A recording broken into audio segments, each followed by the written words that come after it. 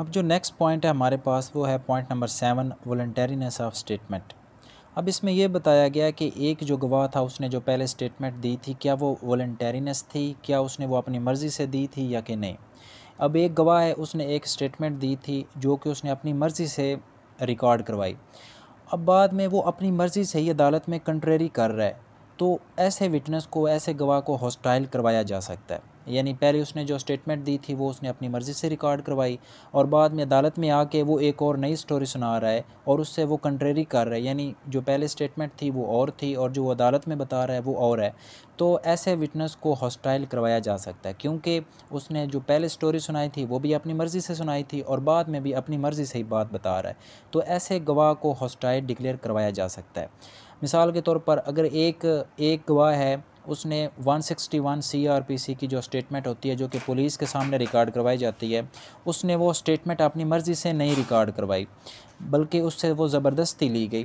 تو ایسی سچویشن میں ایسی سچویشن میں اس آدمی کو، اس گواہ کو ہاسٹائل ڈکلیئر نہیں کیا جائے گا۔ کیونکہ وہاں ہو سکتا ہے ون سکسٹی ون کی اسٹیٹمنٹ چونکہ پولیس کے سامنے ہوتی ہے اور وہاں ہو سکتا ہے کہ اس کے اوپر کوئی تھریٹ ہو، اس سے پولیس والوں نے زبردستی لے لی ہو یا اس سے کوئی مار پیٹ کا ہو کہ شاید یہ مجھے ماریں گے تو اس نے ایک فیور میں دے دی۔ اور بعد میں عدالت میں آ کے اس نے وہ اسٹیٹمنٹ جو ہے اس سے کنٹریری کر دی۔ تو ایسی سچویشن میں اس کو، اس گواہ کو ہاسٹائل ڈکلیئر نہیں کروایا جائے گا۔ ہو سکتا ہے وہ سچ بول رہا ہو تو عدالت اس کی بات کو مانے گی۔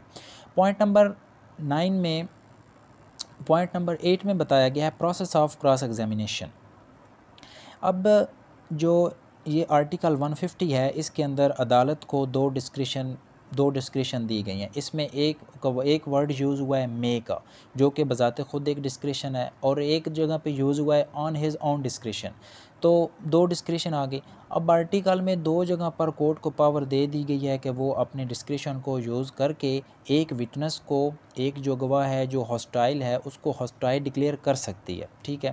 اپنی پارٹی پھر اس کو کراس ایگزامن کرے گی۔ کراس ایگزامن کرنے کے بعد عدالت اس کو ہاسٹائل ڈکلیئر کر دے گی اور اس کی جو گواہی دینے کا حق ہے وہ ختم ہو جائے گا۔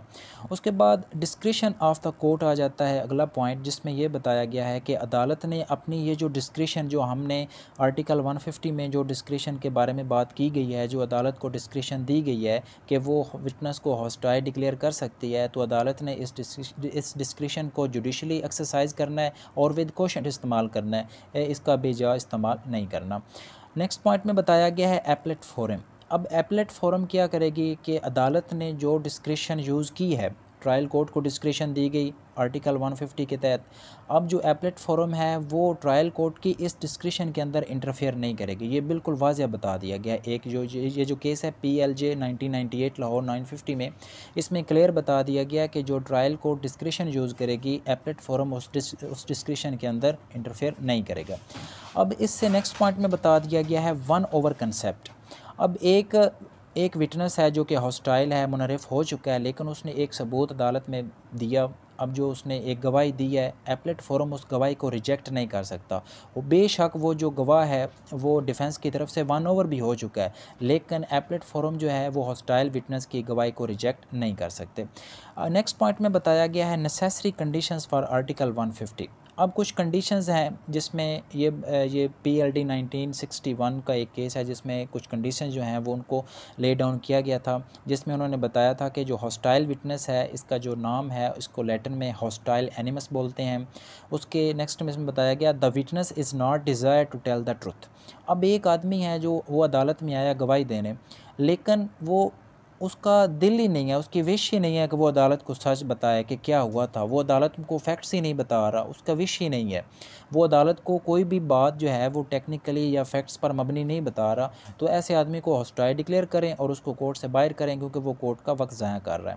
اس کے نیکسٹ آ جاتا ہے رائٹ اینڈ انفلیکسیبل بیہیویئر اب ایک آدمی ہے، وہ گواہی دینے کورٹ میں آیا ہے، لیکن اس کے بیہیویئر سے نہیں لگ رہا کہ وہ گواہی دینے آیا ہے۔ تو ایسے آدمی بھی، ایسا آدمی جو ہے، ایسا جو گواہ ہے، وہ بھی عدالت کا ٹائم ویسٹ کر رہا ہے، لہٰذا اس کو بھی ہاسٹائی ڈکلیئر کریں اور نیا جو گواہ ہے، اس کو کیس میں ڈالیں۔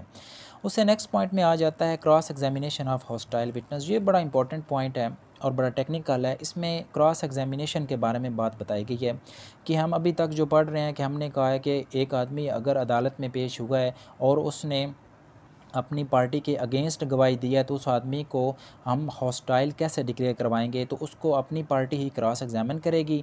جب اپنی پارٹی، اب دیکھنا یہ ہے کہ اپنی پارٹی اسے کب کراس ایگزامن کرے گی۔ اب اس میں ایک پوائنٹ یہ آ جاتا ہے کہ جب وہ اپنی پارٹی کے اگینسٹ کوئی گواہی دے تو اپنی پارٹی جو ہے وہ اس کو کراس ایگزامن کرے گی۔ کورٹ کی پرمیشن سے کراس ایگزامن کرے گی۔ کراس ایگزامن کر کے اس کو ہاسٹائل ڈکلیئر کر دیا جائے گا۔ ایک تو یہ ہوگا۔ یا یہ بھی ہو سکتا ہے کہ اس نے ایک، پہلے جو اسٹیٹمنٹ دی تھی اور جو بعد میں اس نے اسٹیٹمنٹ دی ہے وہ کنٹریری نہیں ہے اور وہ اس نے اپنی مرضی سے دی تھی تو اس صورت میں بھی اس کو ہاسٹائل ڈکلیئر کروایا جا سکتا ہے۔ کورٹ کی اجازت سے یہ بات یاد رکھیں کہ جو بھی آپ نے ہاسٹائل ڈکلیئر کروانا ہے، وہ کورٹ کی اجازت سے ہوگا۔ لیکن اس کے اندر ایک مس یوز یہ بھی ہو سکتا ہے کہ ہو سکتا ہے کہ ایک گواہ کو آپ نے عدالت میں پیش کیا اور اس گواہی کے اندر کچھ لیکوائنے رہ گئے ہیں، ٹھیک ہے؟ ہو سکتا ہے کہ آپ نے ایک ثبوت جو ہے عدالت میں پیش کیا اور اس کے اندر کوئی کمی رہ گئی ہے۔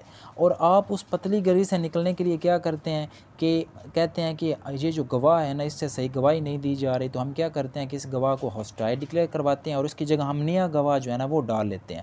تو عدالت اس بات کو نہیں مانے گی، کیونکہ ہو سکتا ہے آپ کی گواہی جو ہے، آپ کے جو ثبوت ہے، اس کے اندر کمی رہ گئی ہے۔ آپ اب اس کمی کو پورا کرنے کے لیے اس گواہ کو کراس ایگزامن کرنا چاہتے ہیں تاکہ اس کو ہاسٹائل ڈکلیئر کر دیا جائے۔ جب وہ ہاسٹائل ڈکلیئر ہو جائے گا تو اس کی جگہ نیا جو ہے وہ گواہ آ جائے گا۔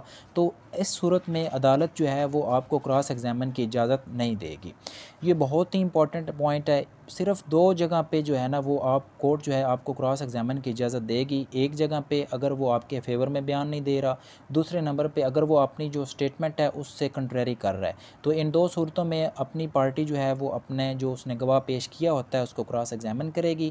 کراس ایگزامن کرنے کے بعد عدالت پھر جو ہے اس کو اپنی ڈسکریشن سے اس کو ہاسٹائل ڈکلیئر کر دی جائے گی، کر دیا جائے، کر دے گی۔ کیونکہ اس پھر اس کی جو گواہی کا حق ہے وہ ختم ہو جائے گا۔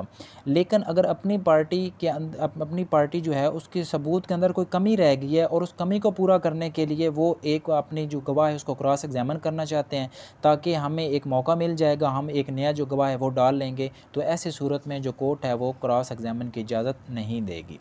اس سے نیکسٹ پوائنٹ آ جاتا ہے ٹینڈرڈ وٹنس اب ٹینڈرڈ وٹنس یہ ہوتا ہے کہ آپ نے ایک گواہ جو ہے وہ عدالت میں پیش کیا، اس کا ایگزامینیشن ان چیف مکمل نہیں ہوا۔ اپنی پارٹی نے اس کو واپس بلا لیا۔ ٹھیک ہے ایگزامینیشن ان چیف ہوا۔ ایگزامینیشن ان چیف مکمل نہیں ہوا۔ لیکن اس کے بعد کیا ہوا؟ اپنی پارٹی نے اس کو، اس گواہ کو واپس بلا لیا۔ تو اس صورت میں بھی کراس ایگزامینیشن کی اجازت نہیں دی جائے گی۔